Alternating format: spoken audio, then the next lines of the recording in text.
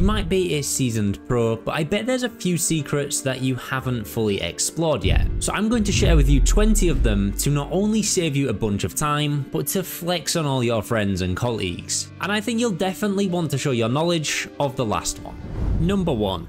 If you double click the shape tool, it will create a shape the exact same size as your composition. However, if you hold shift and double click your shape tool, it will create a one to one aspect ratio at the max size for your composition. Number two, now say I have a very simple composition here and they both have blurs on, but I want to change the radius of the blur and this could be over way more layers. So maybe I want to increase the blur but you'll notice it's not happening on the other one and each time I want to change it I have to match the values to each side. There's a really simple way to fix this and what we can do is rather than just copying our blur across exactly, I can just delete the blur on this second layer and on my first layer I'll go to this fastbox blur and select that, go to edit and copy with relative property links. I can then paste this to my other layer and now this blur's properties are fully linked to my other blur. So anytime I make a change to this one, it will also affect the other. Number three. Now say I want to select everything except these background and wave layers, and we'll imagine there's way more layers than there actually is. Now of course I could go through manually one by one doing this, and it doesn't seem so bad when there's not a lot of layers. However, what I could do instead is maybe select the few layers that I don't want and right click and invert selection. So then select everything else that I've not selected and it'll save me a bunch of time selecting a thousand layers. Number four, I have my trusty box here and say I want to animate some properties, I'm going to have to go down through the drop down here and search for the exact properties I want. And we have to go through about five drop downs just to get through our transform properties, or maybe I want to get to my rectangle path and do the roundness and then mess around with the with the transform as well. Well, it's a lot of layers to go through just to get to the properties you want. Instead, if your layer is closed, you can actually hold control and click the drop down arrow and it will open all of your layer's properties for you to see, so you can easily find the ones you're after. Number 5. Now you might have always wondered what these two buttons here do with the snapshots and the camera icon. Well, there's a really useful tool for this, and really it's for comparing frames. Perhaps it's something your client sent, or you want to compare a previous iteration to a new one. What you can do is press the camera button here to take a snapshot, and you'll also hear the camera click. And then say I want to move my box over, and maybe I want to adjust my circle as well. And we can compare it to the previous frame just by clicking and holding on those two, and you can see the difference. So perhaps you're trying two different text layouts and you want to see which one might be better. You can also hold Alt while you click that, and it'll show you the difference if you're wanting to line things up. Number 6. Now say I've animated a scene here and there's layers open all over the place, I've got keyframe showing and I can't really find out what I want to do and it's all a bit of a mess. What I can do is press Ctrl and A to select all of my layers and then just press U on my keyboard once and this will show all my layers with active keyframes and all my properties with active keyframes. I can then press U again if I want to collapse it completely and have a nice tidy scene where I can see all of my layers. Number 7. Now, sometimes when you open other people's projects, you can be greeted by this absolute monstrosity. And someone's left all of their compositions open that they've ever touched in the project. Rather than going through manually and clicking each X one by one, you can just hover over your timeline and press Ctrl and W to close your comps really fast, and you just repeatedly press Ctrl and W to keep closing them. Number 8. Now say I want to mask out a bit of my box here and I actually want it to be subtract uh, rather than add and you can see at the bottom here it says add. While I'm still holding on my mask create tool, I can press S on my keyboard to change it to subtract, I for intersect, L for lighten, D for darken.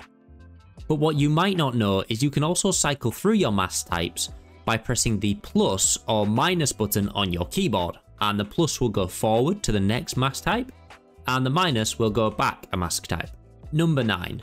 When you want to create a new composition with your asset, you don't actually have to drag it down to the composition button here.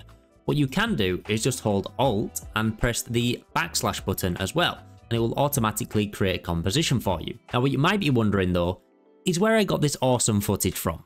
That's where today's video sponsor Artlist will be an absolute lifesaver. I'm sure you'll agree that finding the right music, sound effects, and even footage for your projects can be a real challenge. But not with Artlist. They've got thousands of copyright-free music tracks professionally made sound effects, and stock footage for your videos. Everything is super easy to search for. You can filter by mood, the theme of your video, or you might prefer to browse through collections that are professionally curated by Artlist themselves to find some hidden gems. I personally use Artlist for all my audio and footage needs for my videos, but don't just take my word for it, as they're also trusted by many other creators as well as huge companies such as Google and Microsoft. What's fantastic is you can choose the exact subscription for your needs and it's also really affordable. So whether you're a smaller content creator like myself or you're looking for copyright free music, sound effects or footage for your commercial projects, there's even plans to suit that as well. If you want to sign up, it's absolutely free with no credit card required.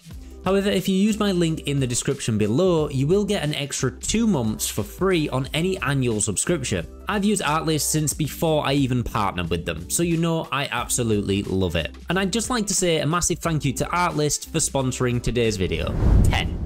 Now if we ignore this super horrendous naming convention I've got going on here, this comp is actually nested inside a bunch of other comps and I have to go back to each one and then work my way through to find it again and then if I want to click in I'll have to click through to that. But imagine we've got three or four comps that this is a part of and I want to find the right one. We can actually use After Effects' inbuilt flowchart to quickly navigate and that's this button here.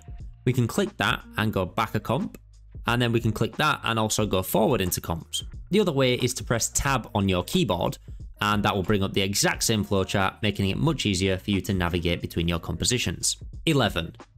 I have this really simple ball animation here, but I actually want all the balls to be sequenced, and really I could go through one by one and manually offset each one, but let's be honest, that's quite time consuming. Instead what I can do is select all of my layers and change their length to be how much I want them to be offset. So in this instance, I want them all to be offset 2 frames. So I'll use Alt and right square bracket to trim my layer to two frames. And then I will select it from bottom to top, which is my first layer to my last layer. Go up to animation, keyframe assistant, and sequence layers. I can just hit OK.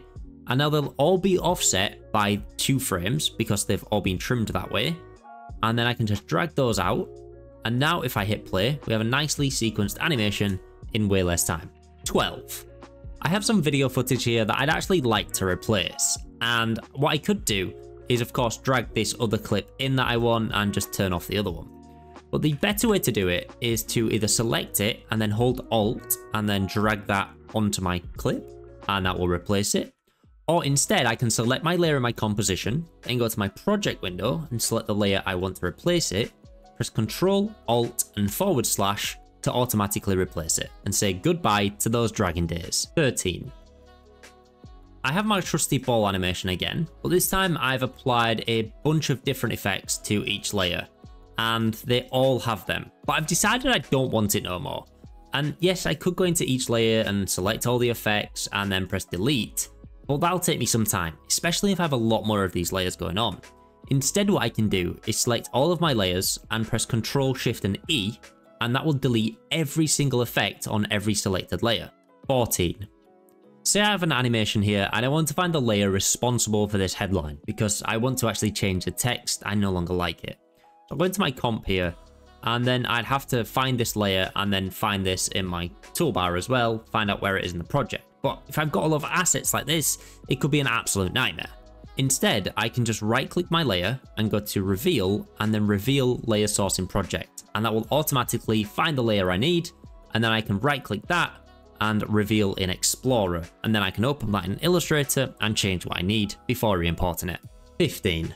I have this parent and child layer here, but I actually want the child to take on everything that the parent has, including its scale, position, and if we had it, rotation.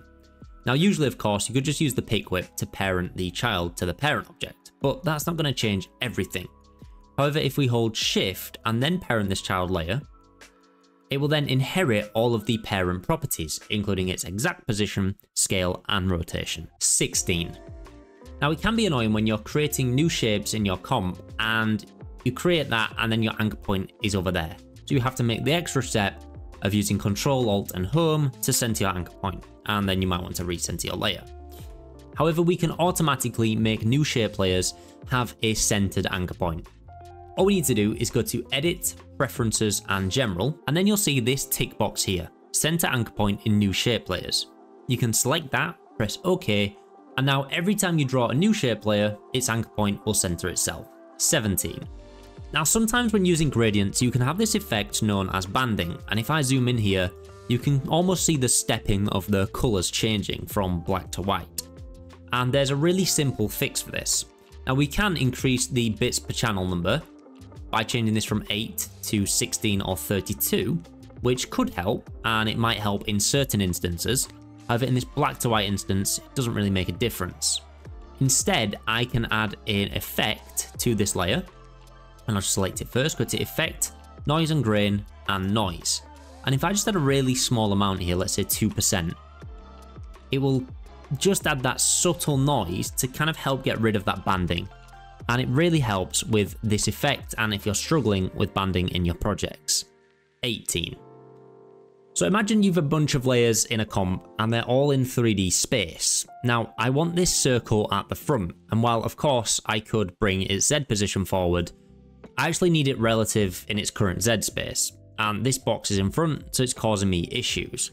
What I can do to treat this as two different layers is if I just add an adjustment layer in between the two layers, the circle will be in the front, but it will have its own Z space indifferent to where the box is in Z space as well.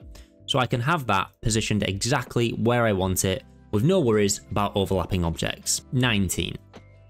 If your brain isn't working correctly and say I need to change the size of this circle and the clients come back saying they want it 50% smaller. This is quite an awkward number to divide by 2 in my head. Instead you can do basic maths in these properties. So I can just type in slash 2 for divide by 2 and it will divide it by 2 and give me the exact number. Or I could do plus 20 and it will add 20 to that. Or I can do times 4 and it will times it by 4 for me. Now, as well as being able to do this in any property, you can also do it in your composition settings too. So say I can't remember the exact dimension of 4K, I can just times 1920 by 2 and it will give me the exact dimension I need. Now one of my favourite secrets I've actually saved till last, and I'd love to know how many of you guys actually know this. If I select a layer in my comp, and then I come up to the effect controls here, and where it says the name underneath the effect controls, if you hold shift and then click, you get a random goat noise that I've no idea why it's there. So I'd love to know if you know why, uh, but that's an awesome little secret that I love. Now if you've got any more hidden tips, I'd love to hear them in the comments below, but if you want to learn some more After Effects tips, you can go ahead and watch this video next.